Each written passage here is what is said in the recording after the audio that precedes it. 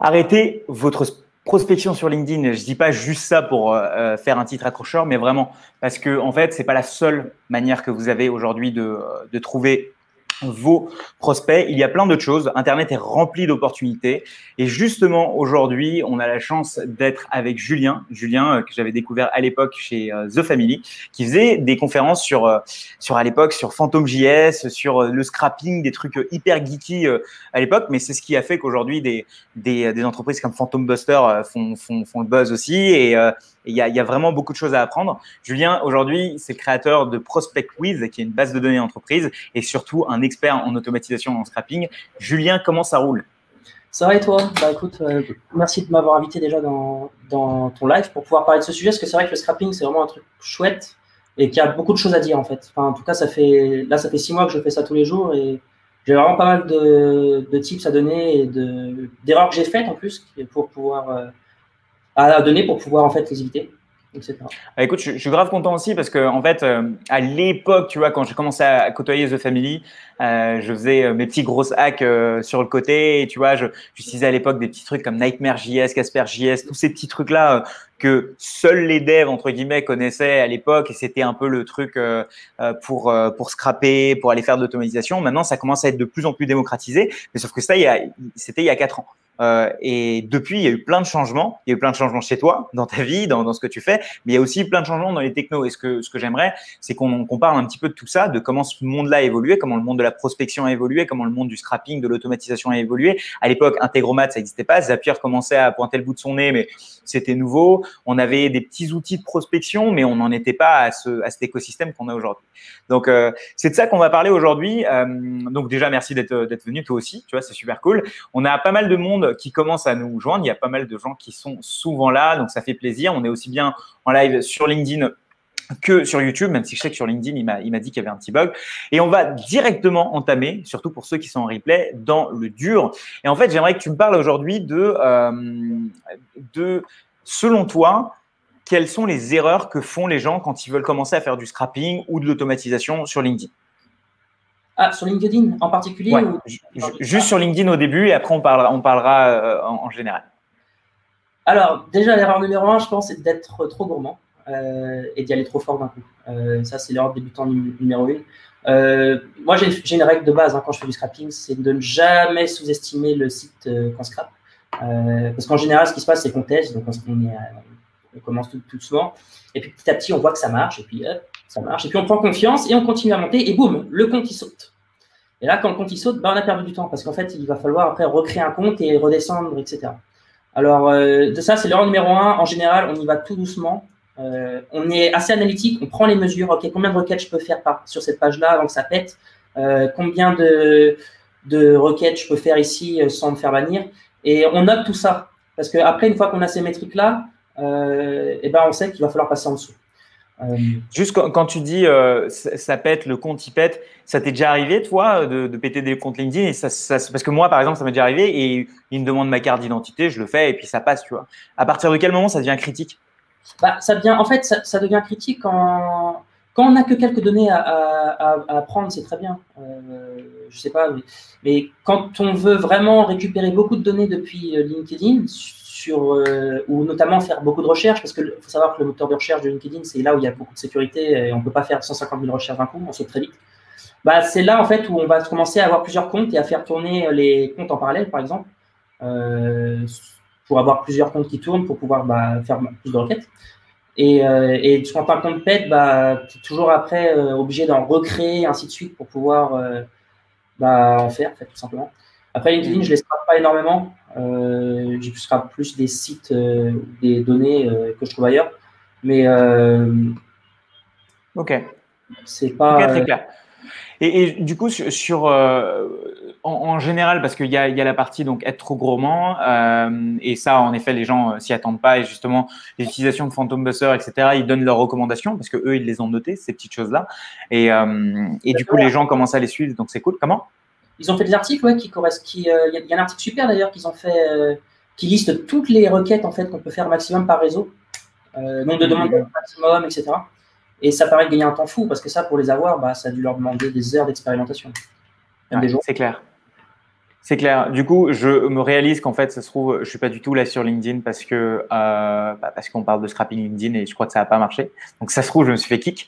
Donc on va voir. Euh, mais sinon, en général, c'est quoi les autres euh, les, autres erreurs que les gens font quand ils font du scrapping ou de l'automatisation, tu vois, ou quand tu dis ils ont un peu sous-estimé le site, ça c'est une chose, mais autre chose par exemple. Alors, bah, une, autre, une, autre, erreur de base que, tout le monde, enfin, que beaucoup de gens connaissent, c'est qu'il faut se mettre derrière des proxys. C'est-à-dire que si vous lancez plusieurs si vous lanciez plusieurs bots euh, sur vos IP de réseau ou sur l'IP de votre serveur, euh, généralement, ça ne tient pas longtemps. Donc, vous allez utiliser des proxys pour pouvoir vous euh, camoufler derrière une autre adresse IP. et derrière, pour pouvoir éviter de vous faire bannir. Par, par exemple, il faut savoir quand on scrape des sites Internet, derrière, des fois, ils sont derrière des, CDN comme Cloudflare. Et bon, moi, ça m'est déjà arrivé parce que j'ai, sur Prospect j'ai dû scraper, je sais pas, à peu près 10 à 15 millions de sites. Euh, et le problème, c'est que Cloudflare, au bout d'un moment, il finit par détecter qu'il y a une IP qui n'arrête pas de requêter des, sites Internet. Et du coup, il vous, il, vous, il vous met une page de sécurité avec un CAPTCHA. Et là, du coup, ça hmm. passe. Il va falloir résoudre le CAPTCHA. Alors après, on peut toujours résoudre des CAPTCHA. Hein. D'ailleurs, ça, après, on peut pas en parler. Euh, il y a des solutions qui existent pour pouvoir justement automatiquement résoudre un CAPTCHA.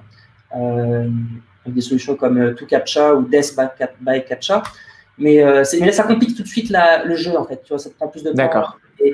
Donc, on se met derrière les IP en général euh, pour pouvoir, euh, vers des proxys, pour pouvoir justement éviter d'avoir des, des, Ok. Et du coup, juste pour, pour, pour toutes les personnes qui connaissent pas ce que c'est qu'un proxy, en fait, ça va être un serveur qu'on va utiliser pour pouvoir requêter. Donc, par exemple, si je fais une requête sur LinkedIn depuis mon ordinateur, bah, LinkedIn, c'est très bien, ou n'importe quel site, c'est très bien que c'est depuis l'IP, donc l'adresse d'identité un peu de ma box. Et en fait, euh, le fait de se connecter à un proxy, ça me permet de me connecter à un autre serveur par lequel je vais passer. Donc, c'est un mandataire un petit peu euh, par lequel je vais passer. Et du coup, un, CDN, comment est-ce que un CDN, c'est quelque chose qui se met devant un site, c'est ça? Ouais, c'est un, un, un Content Delivery Network. En fait, ça permet de pouvoir euh, plus ou moins ajouter de la performance, en gros, à son site internet en, en, cachant en fait le site internet dans plusieurs endroits. Enfin, c'est c'est ce que mettent souvent les, gens devant leur site pour, euh, pour pouvoir euh, avoir des performances encore plus puissantes. D'accord, ok. Ok, et du coup, tu, euh, tu conseillerais quoi, par exemple, déjà en termes d'outils aux personnes qui, tu vois, veulent commencer à faire du scrapping Déjà, on, va rester sur des outils, ce que j'appelle les outils no-code, tu vois, qui sont pour qui, qui requièrent pas forcément du, code, si jamais tu en as conseillé à, quelques-uns. Et sinon, direct, on passe aux outils un peu avancés qui bah, qui, qui seraient potentiellement utiles pour les, pour les développeurs si jamais tu as, des, euh, as des conseils là-dessus euh, Des outils de no-code en scrapping, il y en a sûrement beaucoup qui existent. Euh, je sais qu'à un moment, j'utilisais Kimono il y a 4-5 ans, mais ça a été fermé. Tu mettais une page web et en fait, il arrivait à transformer la page web en JSON.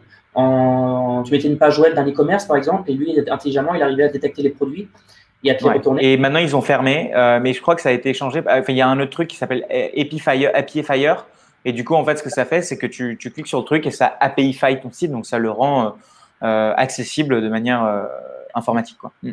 Exactement. Bah, de toute façon, il suffit de taper alternative to Kimono et Kimono. Mm. Et Kimono, c'est d'ailleurs. donc ça, ça, ça peut être des outils qu'on peut utiliser. Après, je t'avoue que moi, je, fais directement en code parce que j'ai plus de souplesse et, et, que je maîtrise, je maîtrise bien Puppeteer, c'est l'outil que j'utilise pour pouvoir scraper. Et, et, tu peux dire ce que c'est un peu Puppeteer pour, euh, pour les gens qui ne qui, connaissent pas forcément? Bah, En fait, Puppeteer, c'est juste un, une librairie qui de contrôler un navigateur Chrome, euh, un navigateur Chromium, euh, avec du code. Donc, vous allez pouvoir définir visite-moi cette page-là, clique-moi sur ce lien-là,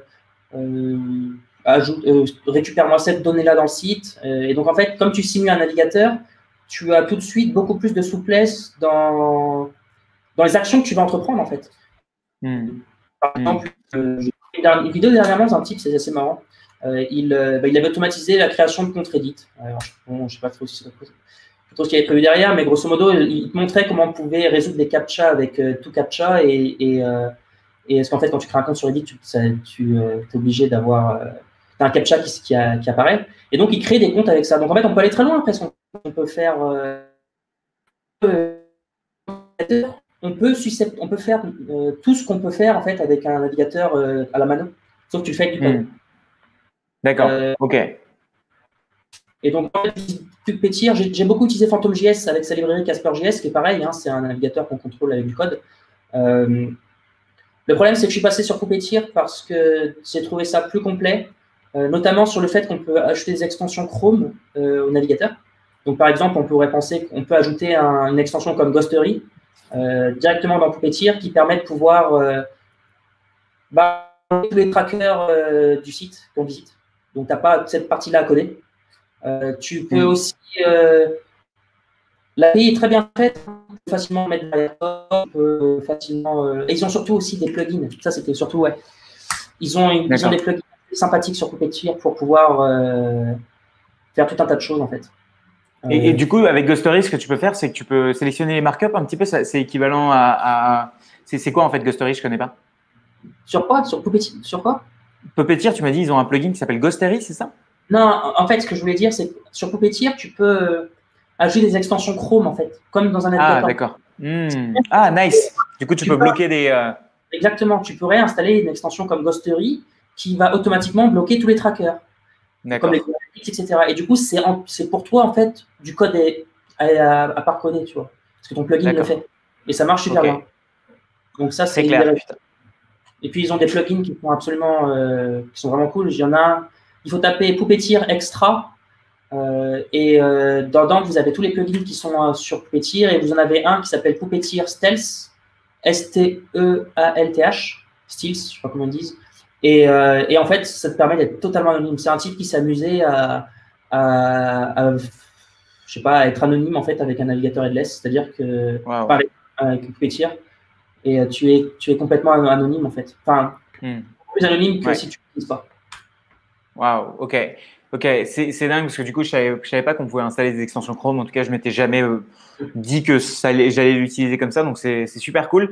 Euh, juste, donc évidemment, c'est un épisode qui est beaucoup plus technique que ce que, que le reste qu'on voit. Donc, pour les gens qui ne sont pas forcément développeurs, vous inquiétez pas, on essaie de faire un maximum de vulgarisation, mais sachez que c'est de là que partent tous les euh, tous les outils que vous voyez en fait sur sur internet donc le, le, prochain scrapper le prochain truc qui va aller automatiser tel et tel truc bah c'est grâce à ces outils là au final donc c'est juste qu'on met une couche par dessus qui va vous permettre de le faire en faisant des clics clics clics et, euh, et euh, du coup qui va être plus plus facile. Et du coup, est-ce que tu peux nous parler un petit peu de, de ce que tu fais avec Build With? C'est quoi en fait euh, C'est quoi une base de données d'entreprise? C'est ce que tu m'as dit. Mais qu'est-ce que tu apportes de plus euh, à, euh, par exemple, des pardon Prospect With Pardon, pas Build With. J'ai dit Build With. Build With, justement, ce que ça permet de faire, c'est savoir quel navigateur, enfin quel quel site a quelle technologie d'utiliser. Et c'est pour ça, ça vient de là le nom ou pas du tout? Euh, non, bah en fait, euh, en fait ah, c'est un, peu, un peu marrant parce que euh, révélation en 2020, trouver un point .com, c'est très très dur. en 2014, c'était facile, mais en 2020, là, quand j'ai voulu trouver un nom, c'était, c'est... donc j'ai commencé avec un nom. au début, j'avais, marqué powerwiz.ai, et puis je, je m'étais concentré sur ça, en fait, détecter les technologies qui étaient utilisées par un site internet. Euh, et, puis de fil en aiguille, en fait, chaque soir, je réfléchissais à un nom plus sympa et puis j'ai trouvé prospectwist.com qui n'était pas réservé et donc je suis parti dessus. Et il faut être résilient parce que pour trouver un .com, c'est pas facile. Et après, attention, les .com, c'est toujours nécessaire. On peut, il y a plein de boîtes qui n'ont pas de .com et qui, euh, pas la peine de perdre du temps à, à, chercher un .com. Et donc oui, c'est c'est une question que je me pose d'un point de vue SEO aujourd'hui. Tu n'es pas obligé de prendre un .com pour, euh, pour ah, performer. Quoi. Recherche sur ça justement et il n'y a aucun problème. Euh, même le point AI, par exemple, qui est un site qui veut, c'est un pays, je c'est c'est un pays.ai, mais je me souviens ni quelque part, je ne me souviens plus, Anguille ou je sais pas quoi. Et euh, du coup, euh, j'ai regardé si ça pénalisait d'un point de vue SEO quand tu avais des Français qui tapaient, par exemple. Et en fait, non, il y a plein de, a plein de gens qui ont fait des recherches sur Cora qui expliquent que, bah, en fait, ils, ils sont passés d'un point com à un point AI, eux, pour leur business, et ça n'avait aucune perte en SEO. Hmm. Hmm. Ok, trop cool. Euh, je pose rapidement sur les questions parce que c'est cool. Je suis, content de savoir qu'il y a quand même pas mal de gens euh, qui sont devs et qui du coup posent des questions super, euh, super. Il me dit quelle compatibilité entre le scrapping et Airtable, une passerelle avec Zapier peut-être? Bah, hum, aujourd'hui, du moment que tu as, une API, en fait, tu peux tout faire. Dès que tu scrapes d'un côté, tu peux mettre de l'autre côté et Airtable te sert de base de données, par exemple. Tu vois, tu aurais pu servir, tu aurais pu utiliser Airtable pour pour n'importe quelle base de données. Et pour Zapier, bah, moi, j'utilise principalement aujourd'hui le, le Webhook pour pouvoir euh, balancer mes données sur Zapier et puis faire en sorte que ça soit, ça soit exécuté. Je ne sais pas si tu vois d'autres choses. Ouais, moi j'utilise PostgreSQL. Je stocke tout dans MySQL. Et puis j'ai. quand on a beaucoup de données, là ça devient compliqué de faire des, recherches poussées avec MySQL parce qu'il faut mettre des index un peu partout. Donc, ce que je fais, c'est que je mets tout dans Elasticsearch, euh, qui est une autre base de données, mais spécialement conçue pour faire des, recherches, euh, des moteurs de recherche. Et c'est un concurrent d'Algolia, par exemple. Et du coup, euh, là, vous pouvez faire des requêtes vraiment poussées. C'est ce que j'utilise d'ailleurs sur mon site pour pouvoir segmenter les entreprises selon différents critères. Et ce qui est intéressant avec Elasticsearch, c'est que vous pouvez mettre derrière des, un autre outil qui est Kibana, qui permet de pouvoir faire des graphes en fait à partir de vos données. Et de la visualisation. Voilà, exactement. Et ça, c'est mm, ça. Mm. Euh, trop cool. Euh, il y a une autre question. On, me demande euh, Scrappy, si ça te dit quelque chose. Je sais pas, j'ai jamais testé Scrappy moi. Scrappy, c'est fait avec Python, je crois. ouais, c'est du Python, ouais. C'est plus un concurrent de curl. Le, problème en fait de Scrappy, je vais peut-être dire une bêtise, mais j'ai jamais utilisé, c'est que si c'est si comme curl, vous simulez, vous, simulez pas un navigateur, c'est-à-dire que vous allez récupérer le contenu HTML de la page, mais imaginons que derrière, vous vouliez accéder au, JavaScript de la page pour pouvoir détecter si une variable euh, existe, par exemple pour détecter si Google Analytics est dans la page, ou euh, pour euh, créer un compte sur une plateforme, ou pour faire tout un tas de choses. On va être limité assez vite. C'est pour ça que moi j'utilise des ce qu'ils appellent des headless, des headless browsers, qui comme PhantomJS, Puppeteer ou, ou plein d'autres, euh, de façon à vraiment simuler un navigateur et avoir euh, tout le, contenu JavaScript euh, accessible. Mm, mm. Ouais, parce que c'est ça en fait. L'idée, le meilleur scrapping qui existe, c'est de se faire passer pour un utilisateur. Et quelles sont les meilleures manières de se faire passer pour un utilisateur? C'est un, être avec une IP plutôt stable et du coup pas pas montrer au site que tu essaies de scraper que tu n'es pas un humain. Faire en sorte que ton navigateur ressemble à un vrai Chrome c'est-à-dire euh, lui donner toutes les propriétés, etc. Et, euh, et, c'est ça, et pas forcément faire le foufou sur tes limites. Donc pas euh, essayer de faire 100 000 requêtes d'un coup, alors que tout d'un coup, tu sais très bien que c'est pas possible. Ce que j'expliquais tout à l'heure, c'est qu'il faut, il faut y aller doucement. En fait, la, vraie règle du scrapping, c'est simuler un, comportement le mieux possible. Si tu suis cette règle-là, si tu simules un comportement humain le mieux, tu mets les chances de ton côté pour pas te faire détecter. Et donc, ça veut dire une certaine aléa, une certaine, une certaine, un certain aléa dans les actions que tu fais sur le site aussi si tu fais toujours les mêmes actions, tu vas te faire bannir. Moi, ça m'est déjà arrivé de, de, scraper un site et de me rendre compte en fait euh, que Cloudflare me bannit, enfin me met des captchas, parce qu'il a détecté sur une heure qu'il y avait un certain pattern qui était fait au niveau des requêtes. Alors donc, du coup, bah, j'ai mis un timer euh, aléatoire entre chaque, chaque requête, et là, c'est passé. Et donc, tu vois, il y, a quand même pas mal de sécurité hein, qui euh, sont mis en place aujourd'hui. Ok, et du coup, bon, on, euh, pour, pour terminer un petit peu sur cette parenthèse euh, méga, méga technique et, scrappy, après on va parler d'autres choses, on va parler pas mal de, de ton aventure entrepreneuriale, de, de, de, méthodologie pour ce qui est des tests de ces, euh, de ces techniques de growth hack, mais aussi là où tu t'es fait bannir. Et justement, moi je suis curieux de savoir c'est quoi les pires fails, les, les pires euh, ban que tu t'es pris parce que tu as, as, voulu justement faire le fou, parce que c'est en, en, faisant des erreurs qu'on découvre qu'en fait, faut pas les faire. Et du coup, c'est quoi toi qui, qui te permet d'apprendre ça? Bon, j'ai jamais eu de, gros ban en fait. Euh, des comptes qui sautent et puis tu les recrées. Euh, je dirais que, en fait, je dirais que la, difficulté que j'ai eue à un moment sur mon projet, c'est que comme je, je scrape des sites internet et j'essaie de détecter les technologies qui sont dessus, euh, mhm j'ai besoin d'utiliser un navigateur, euh, d'un navigateur, pour les raisons que j'expliquais. J'ai besoin de, regarder les variables globales qui sont là, de, regarder s'il y a un cookie qui existe, etc. De, dans le local storage, c'est un truc particulier, etc. Le problème, c'est que quand vous avez 15 millions de sites à scraper et que vous faites euh, et que ça scrape un site tous les deux secondes avec un puppeteer, vous, vous, vous laisse imaginer le temps que ça prend pour scraper 15 millions, c'est très long. Donc, ce que j'ai dû faire, c'est que j'ai dû euh, travailler sur comment est-ce qu'on fait tourner beaucoup de puppeteer en parallèle enfin, beaucoup de navigateurs en parallèle. Et parce que, et donc du coup, j'utilise euh, des, un truc qui s'appelle Puppeteer Cluster, qui est absolument génial, qui permet de pouvoir faire un cluster Puppeteer et euh, de pouvoir scraper plein de sites. Et c'est hmm. très allemand qui est derrière, c'est franchement euh, très bien optimisé, ça, ça marche bien. Et surtout, euh, ça permet aussi d'avoir d'avoir plusieurs IP derrière pour récupérer. Et du coup, là, quand même, faut, si, si tu lances plein de navigateurs qui, euh, qui derrière vont aller scraper des sites, il ne faut pas que ce soit le même site et il ne faut pas que tu sois logué parce que sinon, ça ne ça, fait pas du tout un comportement humain. Bah, en fait, ce que je fais, c'est qu'en général, je scrape. Euh, je scrape la, home page et puis je scrape le premier niveau de page derrière. Je vais pas plus loin. Je vais pas au niveau, au troisième niveau. Euh, sinon, ça hmm. prend beaucoup de temps. Ce que je pourrais faire un jour si j'ai si j'ai la nécessité de le faire.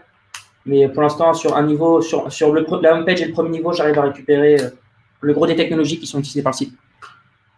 Mhm. Ok, très cool. Euh, superbe. Et du coup, est-ce que tu, en revenant du coup sur, euh, sur Prospect With, euh, du coup, tu scrapes toutes ces pages et t'en fais quoi du coup derrière?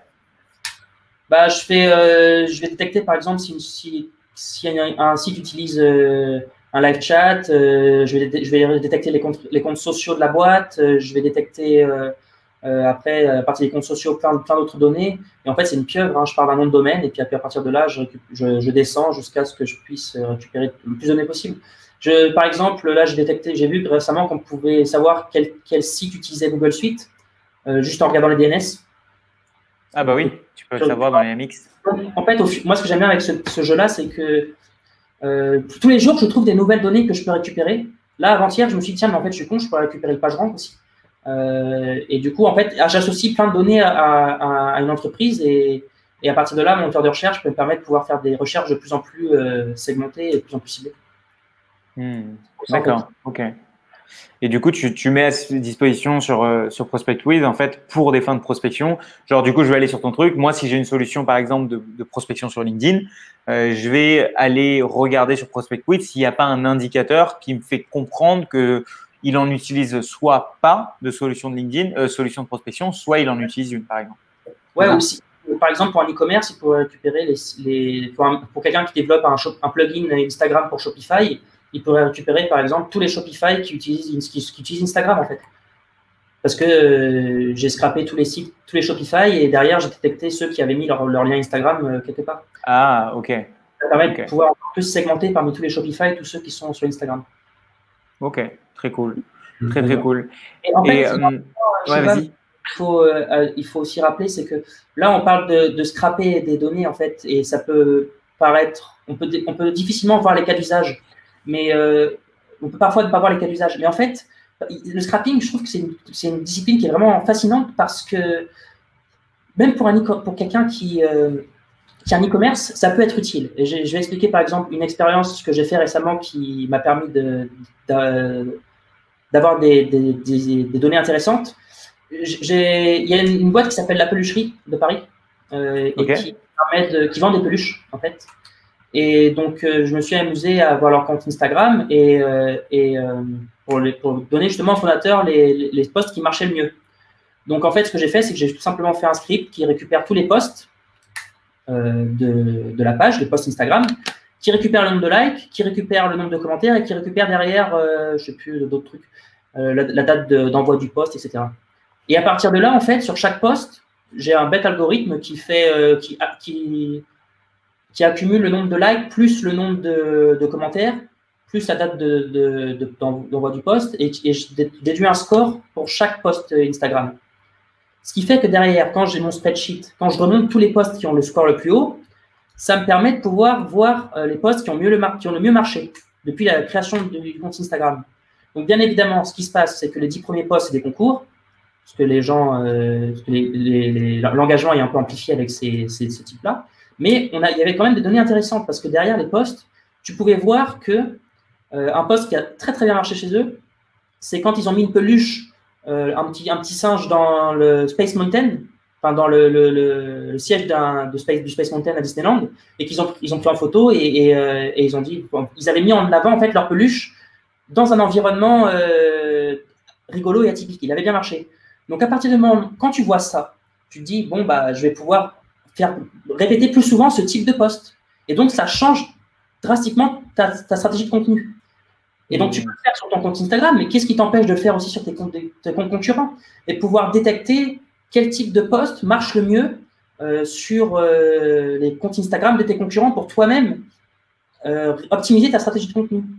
Hmm. Donc, c'est vraiment, après, je veux dire, c'est ton imagination qui fait qu'avec le scrapping, tu peux récupérer des données, comment tu t'en sers et comment derrière tu peux améliorer tes stratégies de contenu, de SEO, n'importe quoi en fait.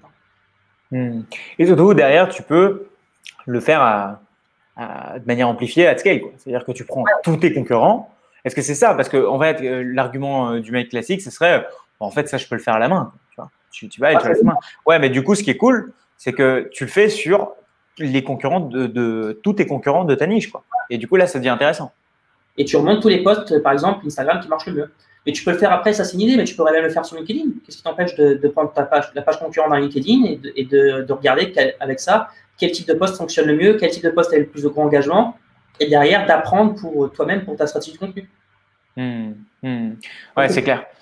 C'est clair. Et justement, j'aimerais qu'on parle un petit peu de, cette partie où, quand tu commences à faire quelque chose à la main, quand je dis à la main, c'est tu, tu, fais une instance, une action, etc. Et à partir de comment, euh, quel moment tu te dis, bon, bah, OK, maintenant, je vais, euh, je, vais le faire à. C'est-à-dire que maintenant, je vais monter en chaleur, je vais monter en vitesse. Euh, et du coup, je peux me permettre de le faire.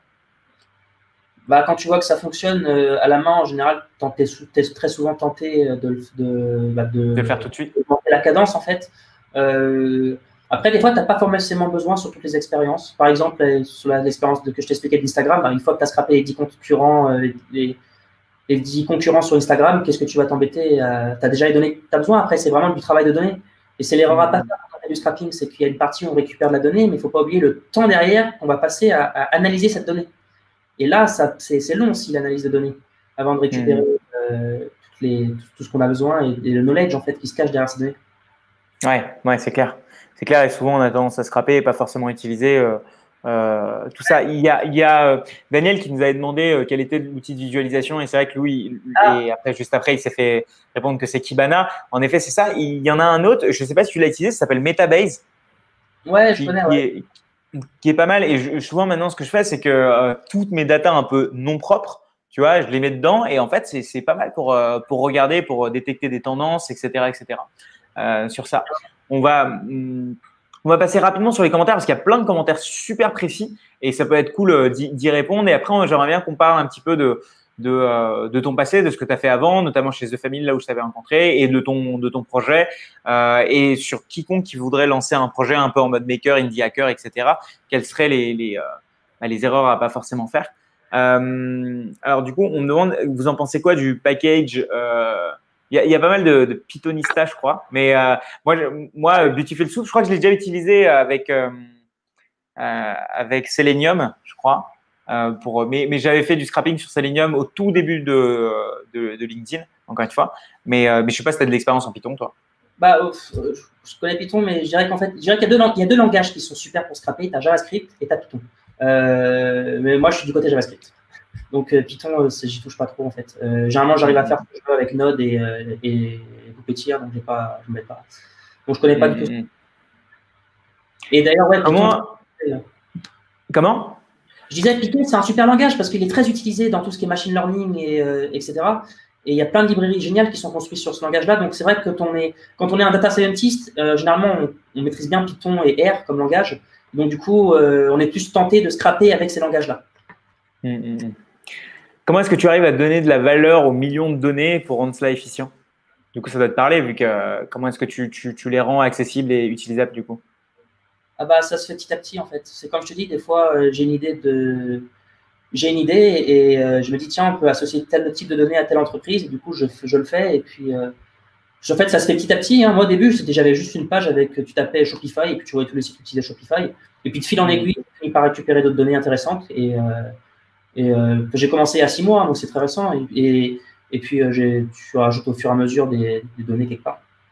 Mm, c'est, mm. euh, alors évidemment, tu vois, genre là, là je me dis, putain, ce serait cool de, voir une démo, mais vu que je t'ai pas dit qu'on allait faire une démo, donc on n'est pas, on n'est pas obligé de le faire, t'inquiète pas. Mais si jamais tu en as une, ça pourrait être cool, ou je le ferai de mon côté. Mais il y en a, me demande, tu récupères quel degré de techno comparé à Wapalizer ou Built With? Euh, quel degré de techno? Bah, Alors, Wapalizer, j'ai quasiment tous les technos qu'ils ont. Par contre, sur euh, et ils sont forts, ils en, ont, euh, ils en ont beaucoup, beaucoup. Donc, moi, je me suis plus spécialisé dans une base de données d'entreprise où j'ai donné des données que, que, que n'a pas. Mais Bitwiz, en termes de technologie, c'est eux, je pense, sur le marché qui ont le plus de, techno.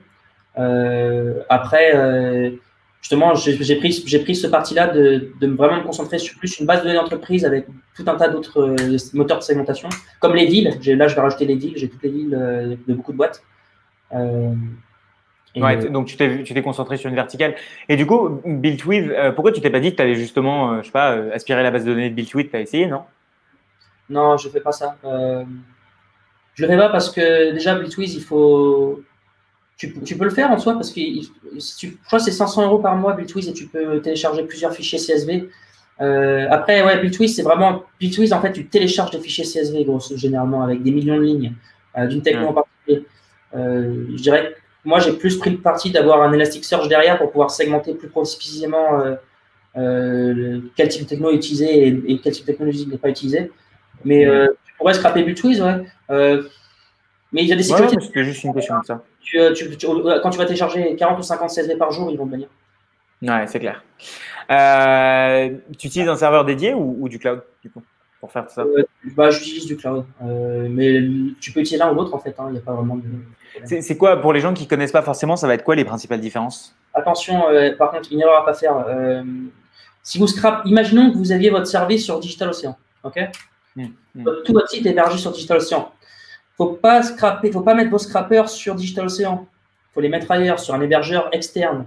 Euh, parce que si votre hébergeur externe n'aime pas ce que vous scrapiez un site, par exemple, parce que pas de chance, vous avez introduit un bug, vous allez trop vite, ou j'en sais rien, vous allez, il va vous bannir. Et du coup, vous perdez aussi votre site sur lequel vous avez hébergé, euh, bah, tous les serveurs qui hébergent votre site. Donc, il faut bien dissocier. Ah, il va bannir tout le compte, c'est ça? Exactement, et c'est arrivé à une boîte d'ailleurs, il n'y a pas longtemps. Il faut ah. Dissocier les, serveurs dont on scrape des serveurs dont on héberge. C'est très, très important. Mm, mm, mm. Ok. Ok, très cool. Euh, on me dit, ouais, le NoSQL, c'est pas mal pour, euh, pour le big data. C'est un peu les, les termes un peu, euh, un, peu phares. Mais c'est quoi les outils simples et accessibles? On m'a demandé si est-ce qu'on aura une liste ou un truc comme ça. à la fin, écoute, on verra. Tu allais dire quelque chose? Je dirais c'est plus toi l'expert du no-code, en fait. ouais, ouais. Bah, en fait, du côté, du côté no-code, ce qui, ce qui est cool, c'est qu'en fait, moi, j'arrive à voir, tu vois, le, tout ce qui est possible. Et très honnêtement, je pense que rien n'est impossible aujourd'hui avec avec.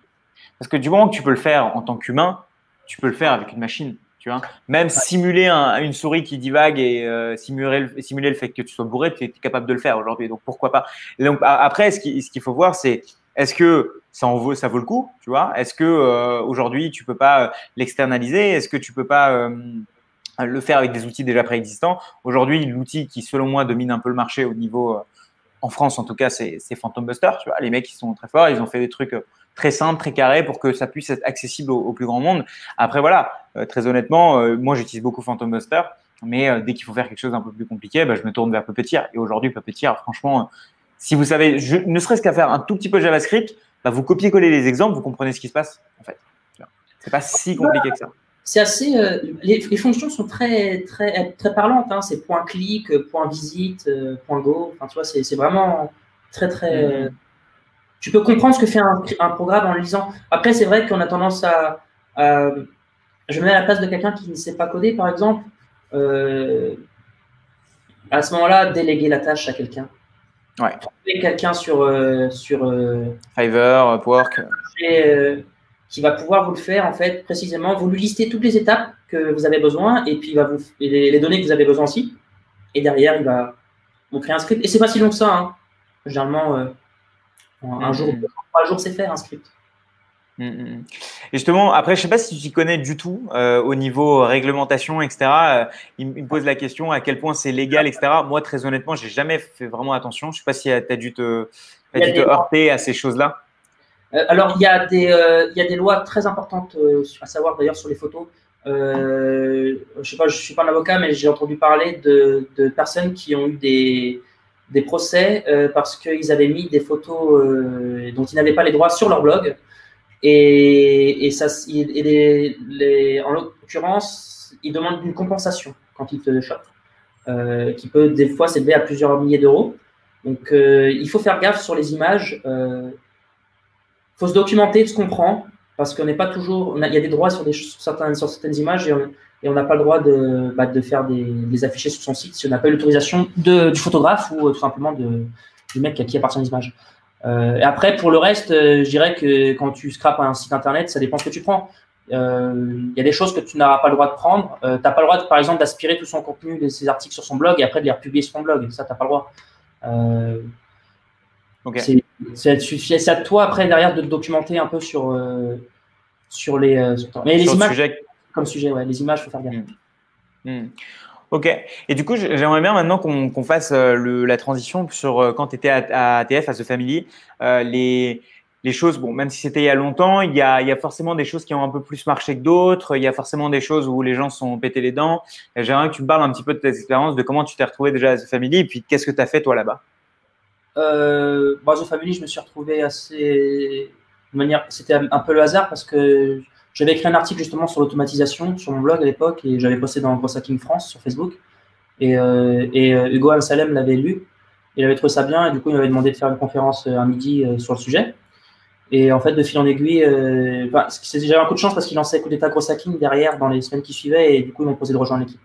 C'est comme ça que je suis arrivé là-bas. Donc, c'est aussi, je tiens à dire un point ce qui est important et c'est ce que je dis à mes sœurs tout le temps. Euh, un blog, c'est vraiment chouette pour la carrière. Faut pas penser que si vous, si vous aimez écrire et que vous avez, et que faites un blog en fait sur ce que vous faites. Parce que hein, ça rapporte beaucoup d'opportunités dans la vie un blog. Et en plus de donner une crédibilité sur le sujet en question parce qu'on l'explique dans les articles donc on en parle on se documente sur le sujet on, apprend des choses en l'écrivant euh, je dirais que d'un point de vue carrière c'est vraiment très très bon d'avoir un blog. On, mm. est ça donne beaucoup d'opportunités. Donc c'est comme ça que je me suis retrouvé là-bas. Et après bon, ça a été euh, de la connaissance partout qui était euh, un flux de connaissances tous les jours euh, qui, arrivait. Hein. On, rencontrait des entrepreneurs tous les jours et euh, ils venaient nous dire ce qui marchait, ce qui ne marchait pas. Et on parlait avec eux, on essayait de les aider. Euh, je faisais partie de la grosse team avec Com et Sacha. Et, puis notre but, c'était d'essayer de, les aider en fait sur l'expérimentation. sur les, les aider en fait sur l'expérimentation. Moi, je sais que je, les aidais pas mal sur le côté bot, automatisation, etc. Com était très très calé en landing page, donc tout ce qui était optimisation de landing page, expérience utilisateur, c'était quelque chose qu'il prenait lui. Et euh, de fil en aiguille, comme ça, on aidait les boîtes. Euh, D'accord. Et c'est quoi les expériences qui ont un peu bien marché ou, aujourd'hui, tu vois, si, euh, si tu as, si as une boîte là, par exemple, qui a envie de faire des, des expérimentations de growth, tu vois, ce serait quoi les axes sur lesquels il faudrait qu'elle aille et qu'elle n'aille pas ou qui pourrait potentiellement marcher? C'est très large, tu vois, mais aujourd'hui, c'est quoi un peu les trucs où tu te dis, putain, mais en fait, perdre du temps là-dessus, ça ne sert à rien, VS, essayer de creuser là, c'est cool, quoi. Alors, déjà, la première chose, c'est qu'on ne peut pas jouer sur tous les fronts. Euh, ça, c'est une erreur de débutant de penser qu'on va pouvoir faire de la SEO en même temps euh, de faire du, euh, du cold email, en même temps de faire du, des stratégies de contenu sur YouTube, etc. quand on est tout seul et qu'on est, qu'on est deux, trois dans une équipe à démarrer un projet, il va falloir très vite trouver les canaux d'acquisition qui vont vous être les plus prolifiques. Des fois, c'est très, très facile à, à, trouver. Des fois, c'est plus complexe. Et par exemple, si vous trouvez que la SEO, c'est quelque chose de, de, vachement bien pour votre marché, pour votre produit, bah, vous allez chercher à vous concentrer en fait très vite sur ce secteur-là. Et c'est à partir de ça, quand vous avez trouvé votre secteur, que vous allez mettre en place tout un tas d'expériences pour améliorer, par exemple, votre SEO. Et ça, le meilleur moyen d'avoir des idées d'expérience, bah, c'est de lire. C'est de regarder sur YouTube les types qui parlent de SEO, c'est de, des blogs euh, qui parlent de SEO. Et surtout, c'est ce qu'on parlait la dernière fois quand on s'est vu, quand on, trouve un, mec qui est très très bon dans ce qu'il fait sur la SEO, par exemple, euh, et ben on va lire tout son Twitter, euh, on va regarder toutes ses vidéos YouTube. On va rester concentré sur ce mec-là et on va absolument puiser tout son contenu. Comme ça, on, est derrière, on est, euh, en fait, on, on, on clone son cerveau, quoi. et on, évite de jouer sur trop, trop de cas. En fait, dès qu'on trouve un mec qui est très bon dans ce qu'il fait, eh ben, on puise son service, on puise tout son, son knowledge. Généralement, il est sur Twitter, il est sur YouTube, euh, des fois, il a un blog et on part du, de, on lit tout son blog et on reste concentré là-dessus. Et on trouve souvent des centaines d'expériences après et on les applique. D'accord. Ok. toi, c'est ta manière de, avec laquelle tu te formes, toi, c'est ça? Bah, généralement, ouais, quand, il y a un sujet que, que je veux apprendre, je prends un expert sur le sujet et j'essaie de, de, trouver l'endroit sur lequel il a, euh, il a beaucoup écrit. Par exemple, quand j'étais à The Family, j'étais assez passionné par tout ce qui était processus de, process de croissance, euh, méthodologie, etc. Et j'avais fini par trouver un mec qui était très bon là-dessus, qui s'appelle Brian Balfour, euh, qui a un blog qui s'appelle Coelevate. Je ne sais pas s'il est encore en ligne collevet.co. Et, euh, et donc, du coup, j'ai passé mon temps à lire ces articles, en fait. Et, comme il y en avait une cinquantaine à l'époque, ça m'avait pris un bon mois. Et, euh, et c'est comme ça, en fait, derrière que, que j'ai vraiment compris ouais, l'importance du backlog, euh, comment est-ce que tu, tu, tu, tu, manages tes équipes en grosse. Parce que lui, il, travaille beaucoup sur ça, c'est son méthodologie de, croissance. Donc, c'est la méthode, en fait. Quand on trouve quelqu'un qui s'y connaît sur un sujet, on reste dessus et on essaie d'aspirer son knowledge. Mmh. Euh, il y, a, il y a Timothée qui nous dit, euh, tu disais quand tu étais à The Family de lire le premier contenu au dernier d'un point de vue chronologique. Euh, et c'est grave vrai, ouais. C'est marrant parce que c'est pas du tout ce que je fais. Je fais totalement le contraire. Et je suis pas sûr que ce soit bien parce que moi, j'ai tendance à hover plein de sujets et pas forcément aller dans le deep. Euh, et je pense que c'est une technique, il faudrait que j'essaye. Euh, et, notamment, est-ce que tu peux nous parler un petit peu de cette méthodologie de growth que tu as appris chez Brian Belfort aussi, qui est assez classique, j'ai tendance à dire, mais j'ai l'impression que plein de gens le, bah, le font pas forcément. Tu sais, tu as tendance à te faire avoir par le nouvel outil, par le nouveau truc, par la, nouvelle technique qui sort. Tu l'essayes deux jours et puis après, tu as le nouveau papillon euh, qui, qui, est là et puis le nouveau objet qui est un peu euh, shiny et tu vas dessus. Quoi. Toi, c'est quoi ta technique d'expérimentation et, de euh, et de méthodologie de, de, test? Alors déjà, moi, je peux parler sur quand on est une équipe de 3-4 marketeurs. Après, quand ça dépasse, quand on devient une grosse boîte et qu'on qu'on gère des équipes, j'ai j'ai jamais fait, donc je peux pas trop en parler. En revanche, quand on est une startup qui démarre, euh, la première chose à faire, c'est déjà, est-ce que vous avez un endroit où vous allez pouvoir mettre toutes vos idées? Ça peut être euh, des issues sur GitHub, ça peut être Pocket, ça peut, ça peut, ça peut être une to-do list, ça peut être n'importe quoi, Notion si vous voulez. Mais est-ce que vous avez un endroit où vous allez mettre toutes vos idées euh, dès que vous allez avoir une idée de marketing dans le métro ou n'importe où? Parce qu'elles viennent souvent, on les, elles viennent souvent des fois par hasard les idées. Hein. Quand on travaille sur un projet et des fois on est, je sais pas, à table ou on est dans le métro et on pense à son projet et là, boum, on a une idée qui vient. Est-ce que vous avez un endroit pour les noter? C'est très très important et c'est très important de les noter parce que derrière, quand on les relit tous, euh, quand on prend le temps d'organiser son, backlog pour prioriser quel type d'expérience on va lancer avant, avant certaines, le fait d'avoir pris le temps de les toutes les noter, en fait, vous allez avoir encore d'autres idées en les, en les lisant. Parce que derrière, vous avez pris de l'expérience par rapport à votre projet, et vous dites, en fait, ça, ça sert à rien, on enlève. Et ça, ça c'est pas mal, mais en fait, on peut faire autre chose encore mieux. Et, euh, et, du coup, ça, c'est la première chose à voir. Ce qu'on appelle un backlog. Et pour toi, chaque, chaque, élément de ton backlog, enfin, par exemple, demain, tu vois, moi, par exemple, là, j'ai une idée, je me dis, c'est quoi Il faudrait que je prenne un truc pour pouvoir transcripte toutes les vidéos que j'ai faites jusque-là, pour pouvoir euh, faire en sorte de les avoir en texte, de prendre un mec sur Malte ou sur truc pour pouvoir les remettre en mode blog et pour lancer un blog. Ça, c'est une idée. Et toi, pour, toi, ça fait partie d'un, c'est un élément dans le backlog, c'est ça? Et, tu le décomposes en plein, plein de petits trucs ou tu fais juste un, un gros élément? Bah, en fait, par exemple, pour ton idée, c'est une ligne. Après, cette idée-là d'expérience, elle nécessite plusieurs étapes, mais c'est en grosso modo, c'est une ligne, c'est euh, convertir les, vidéos YouTube en blog post. Euh, et après, derrière, quand tu vas la faire, ce qui se passe, c'est que tu t'en rends compte assez vite quand une expérience, elle marche. Euh, des fois, tu t'en rends compte dans la journée, des fois, ça une semaine ou deux. Tu as un temps d'incubation de l'expérience pour avoir les données qui vont permettre de juger si elle marche ou pas. Mais quand elle marche, ce qui se passe derrière, c'est qu'il va pas falloir passer à la suivante. Il va falloir optimiser celle qui fonctionne. Ça, c'est très important. Hmm. Tu vois que ça fonctionne, ton truc de blog post. Tu vas pas faire l'expérience 2 et oublier celle-là. Tu restes sur celle-ci, tu l'optimises. C'est ce qu'on appelle double down. Tu vois, tu double down euh, sur ce qui fonctionne. Euh, tu optimises. Parce que derrière, tu vas te rendre compte qu'en fait, tu es parti de cette idée de départ, mais il y a plein d'optimisations que tu peux la faire pour la rendre encore plus performante. Et c'est là que tu crées une expertise sur ce sujet, en fait. C'est parce que hmm tu vas, as trouvé quelque chose qui fonctionne, un début de truc qui est pas mal, et t'optimises derrière. Tu restes dessus jusqu'à ce qu'elle sature. Après, des fois, ça sature, et puis bon, bah, quand tu n'as plus de vidéos à poster, tu arrêtes. Mais peut-être que tu vas te dire, mais tiens, en fait, je pourrais prendre aussi les vidéos de blog post, des vidéos de YouTube de d'autres youtubeurs euh, anglais, j'en sais rien, les convertir en français avec une API de translation, de traduction, et après, derrière, de pouvoir euh, avoir un virtual assistant qui me corrige tout bien euh, pour, pour que ce soit un article qui soit lisible.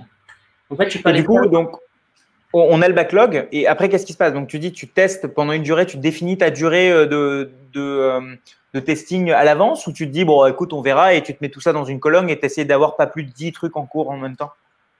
Ah, euh, En général, en général quand pour une personne, c'est difficile de gérer plus de trois expériences en, trois expériences. Hmm. Enfin, ça dépend après la taille des expériences. Il y en a toujours qui sont plus petites que d'autres à exécuter.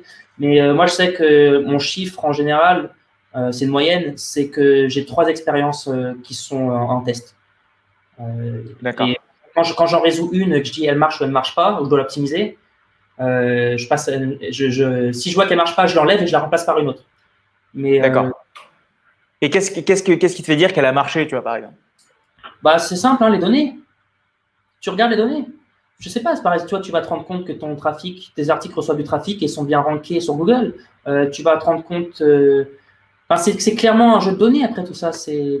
mais à partir de quel moment tu vas te dire, par exemple, ok, je vais euh, double down, ou alors est-ce que je, allez, je passe à la suite, tu vois. Genre, euh, j'en ai, trois dans mon truc courant, j'ai cette idée, je sens qu'elle vaut le coup, tu vois. Et puis boum, quand, est-ce que je passe à la, quand est-ce que je l'enlève de mon processus? Bah, quand elle sature et après quand elle sature, c'est généralement que ça stagne ou ça décroît. Tes métriques en fait au début qui grimpaient, elles vont stagner ou elles vont décroître. Et c'est là que tu sais que tu es sur un bah, tu es sur une, une expérience qui est à saturer et qu'il est temps de passer à une autre. Mm. Et, des fois, c'est pas forcément que sur l'acquisition. Hein.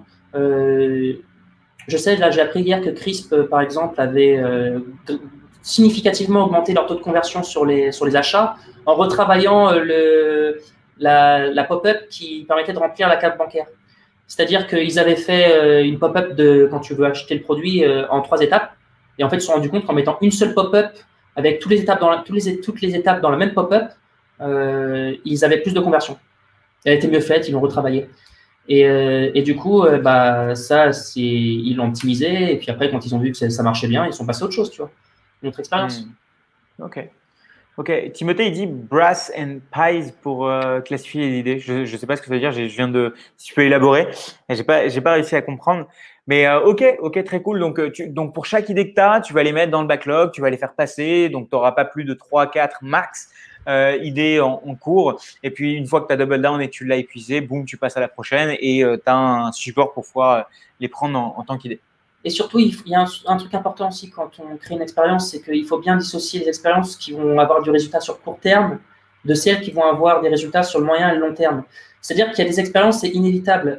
si votre but, c'est de créer une chaîne YouTube, par exemple, imaginons que ce soit une expérience, bah, les résultats vont souvent être perçus sur le moyen long terme parce que ça va demander beaucoup d'efforts en fait pour euh, avoir suffisamment de vidéos, se créer une audience de petit à petit.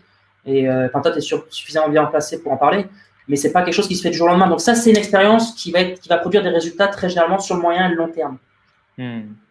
Pas okay. plus que d'autres expériences. Hmm. Je pense que Timothée tout à l'heure, il parlait de, tu sais, il y, a, il y, a, plusieurs manières. Il y a la manière ACE, je crois, d'optimiser de, le truc. Euh, il y a Blink, enfin BR ASS, c'est ça dont il, dont il parlait. Je ne connaissais pas. Je ne sais pas si toi tu connaissais cette manière de. Ouais, bah, il en avait parlé ton dernier invité d'ailleurs de ACE, euh, de la méthode Oui, ACE, on en avait parlé en effet, ouais. Mais euh, c'est. Euh, franchement, euh, moi je m'embête pas trop avec ces métriques-là. Hein. Tu sais, je le fais à vue de Hein. C'est mmh. avoir un système de scoring quand on commence à être une grosse équipe. C'est-à-dire dès qu'on commence à avoir une dizaine de personnes qui rajoutent des expériences, c'est bien d'avoir un système de scoring comme ça qui permet de pouvoir remonter. Mais quand tu es 2-3, en général, moi, je procède à l'instinct. Après, je devrais peut-être scorer mes idées, peut-être que j'aurai des meilleurs résultats, mais je ne m'embête pas trop. Euh, je sais pas comment tu fais. Hmm.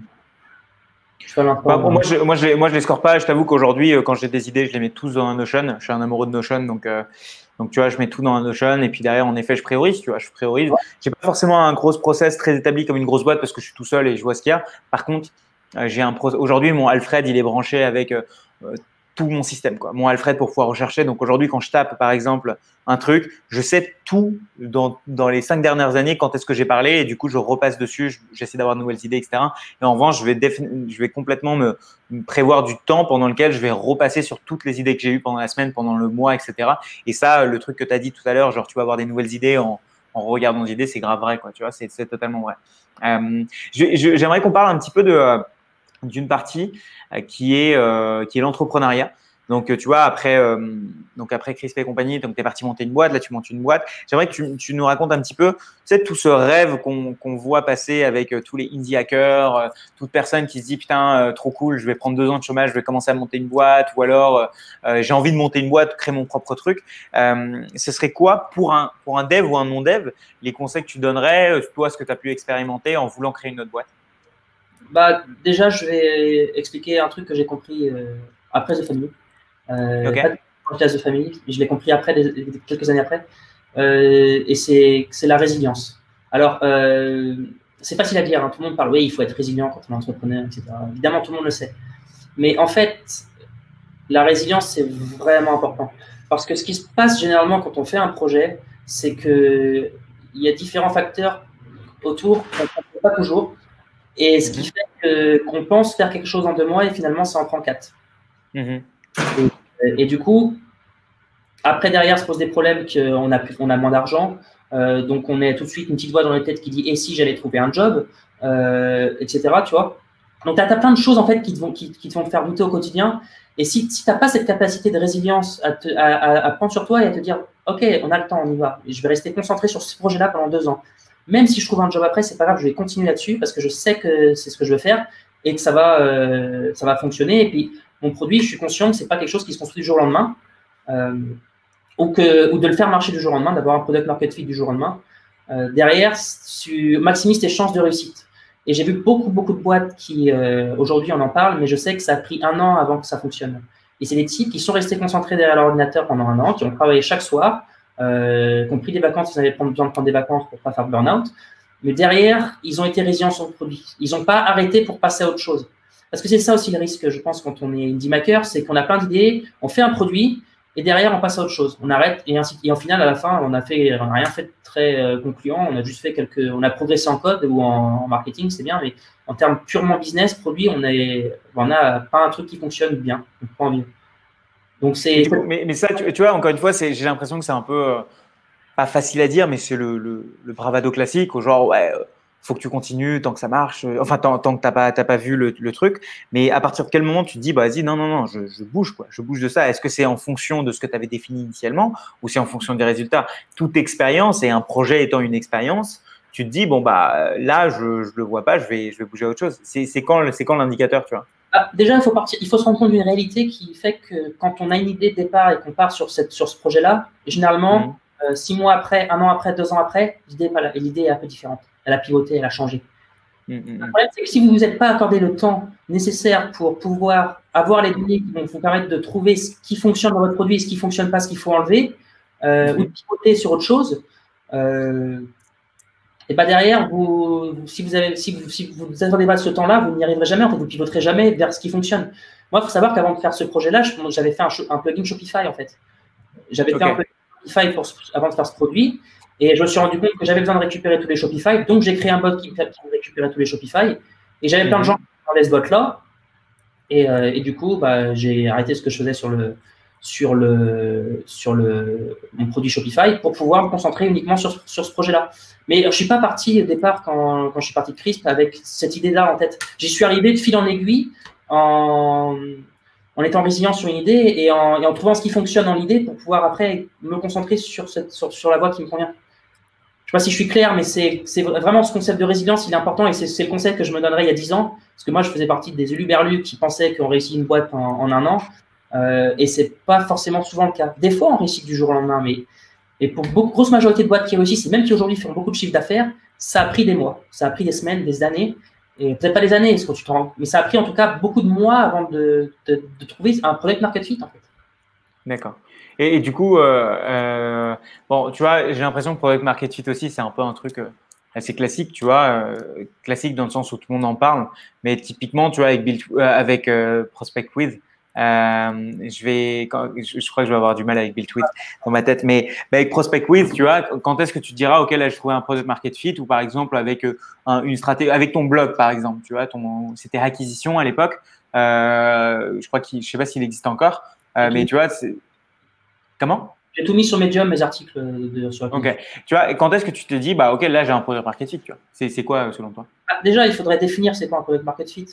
Et mm. honnêtement, la, la, meilleure définition d'un product market fit, c'était euh, Oussama hein, qui a expliqué euh, ces trois choses. C'est est-ce que les gens ils comprennent ce que tu fais Est-ce qu'ils l'utilisent euh, Est-ce qu'ils utilisent ton produit et, Ou est-ce qu'ils l'achètent? Et derrière, en troisième étape, très importante, et ça c'est la, la, la condition de tous les product market fit, c'est est-ce qu'ils en parlent en bouche à oreille ou est-ce qu'ils partagent sur les réseaux sociaux, etc. Et euh, quant à ces trois éléments-là, est-ce qu'ils comprennent ce que tu fais, est-ce qu'ils l'utilisent et est-ce qu'ils en parlent autour d'eux, bah, tu as un product market fit. Pour moi, c'est la meilleure définition parce qu'elle est simple à comprendre. Et quant à ces trois éléments-là, ce qui n'est pas le cas de tous les projets, tu sais que tu as le vent derrière toi et donc tu as un product market fit. Et, pour, pour, donner une anecdote, moi, j'ai vraiment compris cette définition-là euh, à The Family quand euh, il y avait une boîte qui s'appelait AfroStream qui était le Netflix des séries afro-américaines. Et eux, ils avaient un product market fit. Mais ça se voyait en fait. Et tu comprends, j'ai vraiment compris c'était quoi. Parce qu'ils postaient un truc sur Facebook et tu avais une tonne de gens qui commentaient, qui likaient, qui mentionnaient leurs propres amis en fait sur, euh, sur, leur, euh, sur leur post. Et donc là, tu sais que sur quelque chose. Et, qu'il y a quelque chose de différent qui se passe. Et donc, et ça, en fait avant d'y arriver. Ouais, ouais, c'est pas, pas du jour au lendemain, quoi. Et des fois, tu vas partir d'une idée et puis c'est de fil en aiguille, tu vas te rendre compte qu'en fait, euh, ah tiens, mais en fait, dans cette idée-là, c'est ce petit bout-là qui marche. Et tu restes concentré sur ce petit bout-là. Et tu oublies tout le reste. Mm. Ok, très cool. Très cool. Euh, et puis, il y, a une autre partie, tu vois, il y a une partie, je pense, c'est celui de ta, timeline. c'est combien de temps il te reste, quoi? Combien de temps tu as, combien de temps il te reste pour pouvoir développer ce truc? Est-ce que tu t'es donné les moyens, etc., de, de pouvoir le faire? Et je pense que tu vois, dans tout ce, dans tout ce, flanc de, indie maker, etc., il y en a plein qui vont le faire à côté de leur taf. Donc, un peu, ils ont un peu tout, toute la vie devant eux parce qu'ils disent, bon, de toute façon, c'est à côté, j'ai de quoi manger, j'ai de quoi faire. Mais du coup, ils sont pas à 100%, ils sont pas à fond. Est-ce que tu, tu, tu peux me dire un petit peu la différence que tu as, par exemple, en bossant en part-time sur un truc et en bossant en full-time et en dormant et en pensant que à ça, etc. Euh, moi, je sais que pour moi, c'est une grande différence. Le fait d'être commit à 100%, pour moi, c'est une grosse, grosse diff. VS, euh, essayer de le faire les soirs et week-ends. Euh, tu as, des, thoughts là-dessus ou pas? C'est une question vachement intéressante, en fait. Parce que c'est un, un, dilemme. C'est toujours un dilemme. Je dirais que déjà, la première chose, et ça, c'est si je, si je me ferais un tatouage un jour, c'est ce que je me tatouerais, je ne le ferai pas, mais c'est le secret, c'est de commencer. Ça, c'est un, truc à se rentrer dans le crâne, c'est que c'est pas grave si tu n'as pas toutes les cartes, si tu n'as pas toutes les conditions, euh, euh, toutes les étoiles sont pas alignées dans le ciel, c'est pas grave, commence. Euh, même si tu es en part-time, c'est pas grave, commence sur ton idée. fais. Mmh. Il n'y aura jamais de, meilleur, de, de, bon moment pour se lancer, de toute façon, mais, mais c'est pas c'est mieux d'être full-time, bien évidemment, parce que tu enlèves des focus, mais il y a aussi un dilemme. Est-ce que, est que faire un projet quand tu es père de famille, euh, c'est pas plus difficile que quand tu es euh, célibataire et que tu as juste ton projet à t'occuper, tu vois? Mais c'est une situation, en fait. C'est juste que hmm. quand tu quand tu, quand es dans l'entrepreneuriat, pour moi, ce que je me dirais, en fait, il y a 10 ans, c'est déjà prendre soin de ta euh, un burn-out, tu peux en faire quand tu es la tête dans le guidon pendant des mois et des mois et des mois avec la, le presse, la Prends soin de ta santé. Euh, c'est-à-dire que c'est de faire une pause de trois jours euh, après que tu codé pendant un film, pendant prends-les. Prends-les. Mm-hmm. Euh, et, et, derrière, après, contrôle ton cash. Parce que tout ça, c'est un C'est-à-dire que si tu décides de, passer full time sur ton projet, prends bien conscience que tu as une date de mort en fait. tu as combien d'argent de côté? Et quand est-ce que, quand est-ce que tu vas falloir retrouver un job? Parce qu'il faut de l'argent pour manger. On va falloir faire du football. Et donc, les ces dates-là. Surtout, part toujours du principe que tu penses faire quelque chose en un mois, mais des fois, ça en prend deux. Des fois, ça en prend trois. Et euh, hmm. l'estimation, ce n'est pas toujours euh, une science exacte. Des fois, tu penses faire quelque chose en, en temps Donc, en fait, c'est toutes ces données-là qui font que bah, il n'y a pas de bon moment. En fait, commence. Ne pose pas cette question-là, euh, part-time, full-time. Si tu peux te mettre en full-time, fais-le. si tu as de l'argent de côté pour le faire, fais-le façon, tu seras bien plus heureux à, bosser sur ton projet. Mais après, ouais. c'est pas possible, c'est pas grave. Euh, avance et quand tu pourras te mettre en full time, euh, fais-le. Ok, trop trop cool. Euh, et, c'est vrai que tu vois, c'est typiquement les trucs quand tu veux commencer un peu la tête dans le guidon et surtout quand tu es dev, mais tu, tu, te mets à coder direct. Tu vois, tu as une idée, c'est parti, tu lances tes puppeteers, tu lances tes, tes tu ouvres tout VS Code et tu commences à coder. Et justement, j'ai l'impression que de plus, plus j'avance et plus je me dis, ok, non, non, non je vais valider le truc, je vais faire un MVP, je vais cadrer mon MVP, je vais me dire, tu vois, euh, tout ça. Donc, euh, ouais, tu allais dire quelque chose? Ah, C'est vrai ce que tu dis, il faut simplifier les choses, c'est très très dur. C'est facile à dire, mais c'est vachement difficile à faire parce qu'on est toujours, on a un peu le FOMO, tu vois, ah, il manque ça, il manque ça, il manque ça, mais simplifie tes idées, mets-les, teste-les. Et, euh, mm. et c'est pas grave si, euh, si c'est pas parfait en fait. Moi, je fais mm, toujours, mm. je veux toujours que ce soit parfait pour lancer, mais bon, c'est bah, ouais. on a, on a tous ces, ces petits trucs-là. Écoute, c'est super cool. Je suis grave content euh, qu'on ait pu euh, discuter de ça. Est-ce que tu as, as, des news un petit peu sur, euh, sur Quand est-ce que tu lances? Enfin, Là, tu es déjà en, public, c'est ça? Du coup, on peut, on peut l'utiliser. Et puis, bah, je, je, travaille déjà avec quelques utilisateurs qui, qui payent sur service pour pouvoir avoir des, des entreprises qui, qui, correspondent à leurs critères. Et au fur et à mesure, de fil en aiguille, je rajoute des, des critères de segmentation et j'ai et puis ça se passe bien. C'est euh, toujours long et puis c'est euh, reproduit au fur et à mesure en fonction de ce que les gens demandent et ce que les gens n'ont pas besoin. Ok, et du coup, on peut, on peut directement aller sign up là, ça marche? C'est ça?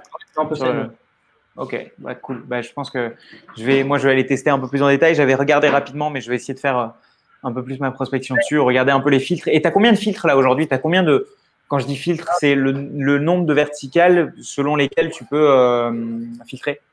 Bah, là, au jour d'aujourd'hui, j'ai pas mal, je dois avoir 5 ou 6 filtres, mais j'en rajoute 4 ce week-end, notamment les pays, les régions, les villes, les continents. Euh, nombre d'employés, le revenu de la boîte, les technologies qu'ils utilisent. et j'en ai plusieurs autres aussi. J'ai les réseaux sociaux aussi qu'ils utilisent, les catégories. Ah, tu vois, par exemple, si tu veux toutes les entreprises qui utilisent un, live chat, mais pas un live chat particulier, mais vraiment un live chat, un type de, et là, mm. tu peux donc, c'est, je rajoute des, des, segmentations, des filtres au fur et à mesure. Ok, très très cool. Bah, écoute, moi, je vais aller tester ça. Ça va être pour toi, à mon avis, un week-end assez, assez code. Donc, euh, ça, va être, ça va être plutôt cool. Merci beaucoup d'avoir pris le temps. Euh, tu vois, j'essaie de faire toujours une heure pour pas prendre plus de temps à tout le monde. Euh, on me dit gros, euh, gros merci euh, pour l'autour d'expérience. Belle fin de semaine. Merci à, tout le monde. Merci pour, euh, pour ce live qui était un peu plus technique. Et franchement, ça fait du bien aussi parce que c'est cool. Ça me permet moi aussi de parler de, de choses qu'en réalité je fais et que, et que je kiffe. Et, et surtout, ça m'a permis de, de prendre euh, tu sais, c'est ce que je dis toujours, faire ces lives, c'est pas un peu comme un prendre un café avec, euh, avec quelqu'un, tu vois, et tu as des gens qui peuvent commenter en même temps, et en plus, c'est une discussion qui est enregistrée. Du coup, même moi, je peux venir et re-regarder, putain, c'est ce qu'il avait dit sur cette méthode d'expérimentation, ce qu'on n'aurait pas pu faire, par exemple, dans, euh, dans un café.